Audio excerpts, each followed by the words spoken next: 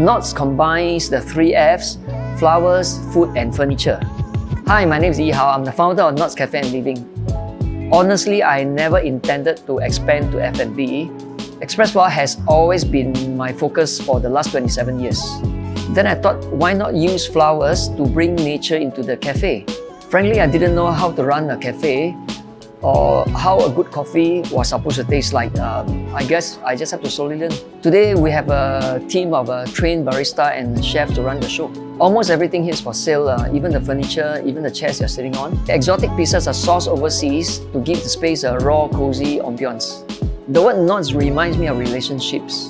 We hope with our three Fs, we can bring people of different interests together.